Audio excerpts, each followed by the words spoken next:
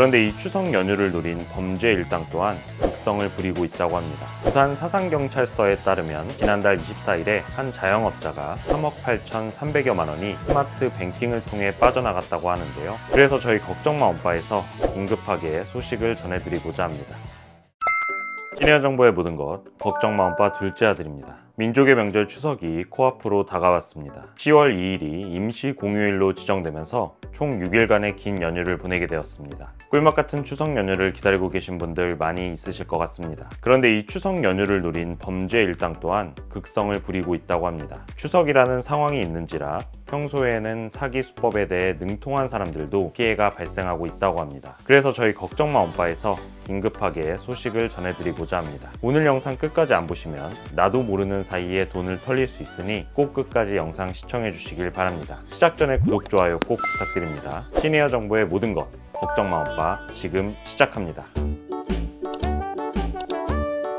여러분들 추석 때 가족 친지들과 만나서 서로의 안부를 물으며 도란도란 이야기하는 시간을 많이 보내실 텐데요. 이렇게 추석에 서로 안부를 묻고 감사를 표하다 보면 선물을 주고받는 경우가 생깁니다. 따라서 추석이나 설 같은 명절에는 선물 배송으로 인한 택배 문자들을 많이 받게 될 수밖에 없습니다. 범죄 일당들이 바로 이 같은 상황을 노린 것입니다. 정리해보자면 제가 앞서 말씀드린 사기 수법의 정체는 이렇습니다. 바로 추석 연휴를 앞두고 발생할 수밖에 없는 택배 선물 배송을 사칭한 보이스피싱 사기 수법인 것입니다. 이 같은 보이스피싱 사례가 정말 추석을 앞둔 요즘 폭발적으로 증가하고 있다고 합니다. 더불어민주당 이용우 의원이 한국인터넷진흥원에서 제출받은 2023년도 스미싱 월별 신고 접수 현황 자료에 따르면 지난달 신고 접수된 스미싱 문자는 6만 1,869건으로 집계됐다고 하는데요. 이 같은 수치가 정말 놀라울 수밖에 없는 것이 올해 1월에 발생한 428건과 비교하면 무려 144배 넘게 증가한 수치이기 때문입니다. 10배도 많은데 144배라니 정말 무차별적으로 사기 행각을 벌이고 있는 것입니다. 사례를 한번 살펴보시죠. 부산 사상경찰서에 따르면 지난달 24일에 한 자영업자가 택배 수신 주소가 잘못됐다며 정정을 요구하는 메시지를 받고 첨부된 URL 링크를 눌렀다고 합니다. 아무래도 자영업자시다 보니 오고 가는 배송건이 워낙 많았을 거고 추석이다 보니 아주 그럴듯한 상황이었을 것으로 추측이 됩니다. 그런데 URL 링크를 누르자마자 휴대전화가 곧장 먹통이 됐다고 합니다. 그리고 8시간에 걸쳐 3억 8,300여만 원이 스마트 뱅킹을 통해 빠져나갔다고 하는데요. 정말 황당하고 억울한 일이 아닐 수 없습니다. 너무 황당한 수법에 피해 금액도 크다 보니 여러 언론사에서도 보도된 내용이라 알고 계신 분들도 많으실 거라 생각이 됩니다. 그래서 나는 저런 거 안 걸리지 하는 분들 계실 텐데 모든 보이스피싱 범죄는 본인의 상황과 딱 맞아떨어지게 되면 범죄인지 아닌지 판별하기가 쉽지 않습니다. 그렇기 때문에 평소에 보이스피싱 관련 소식들을 많이 접하셨던 분들도 꼭 주의해 주셔야겠습니다.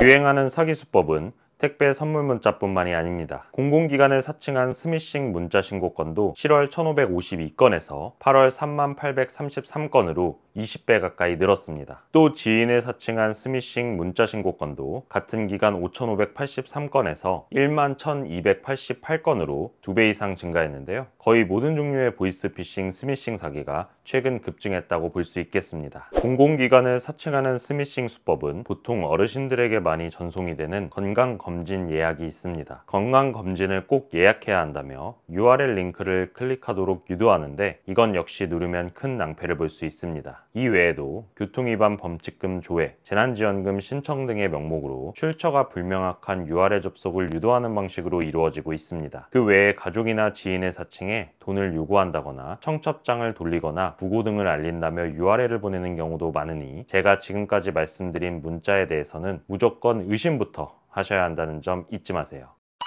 이렇게 범죄 피해에 대한 보도가 이어지고 있음에도 범죄가 줄어들지 않고 오히려 증가하는 이유는 결국 여러 번 시도를 하게 되면 속을 수밖에 없기 때문입니다. 그래서 가능하면 아예 원천 차단을 하는 등 예방을 하는 것이 중요할 텐데요. 이에 전문가들은 스미싱 예방을 위해 통신사별로 제공되는 스미싱 차단 앱 설치를 적극 권고하고 있습니다. 통신사별로 SKT T-스팸 필터링, KT 올레 스팸 차단 서비스, LG U 플러스 스팸 차단 서비스가 있습니다. 신청 방법은 간단한데요. 첫 번째로 화면처럼 홈페이지를 통해서 확인하는 방법이 있습니다. 두 번째로는 구글 플레이 스토어나 앱 스토어에서 어플을 통해 확인하는 방법이 있습니다. 컴퓨터고 핸드폰이고 잘 모른다 하시는 분들은 고객센터에 전화해서 문의하시면 되겠습니다. 근데 이렇게 예방을 하더라도 결국은 피해를 입을 수 있는데요. 이럴 경우 사이버 범죄 신고 시스템을 이용해 신고하면 됩니다. 네이버에 ECRM을 검색해 주시고 사이버 범죄 신고 시스템 홈페이지로 들어가 주세요. 그 다음 좌측 하단에 신고하기 버튼을 눌러서 신고해 주시면 됩니다. 그리고 이번 명절 연휴 중에 문자 사기 의심 문자를 받았거나 악성 앱 감염 등이 의심되면 국번 없이 118 상담센터에 긴급 신고해 주세요. 24시간 무료로 상담을 받을 수도 있으니 급하실 때 꼭 참조하시길 바라겠습니다.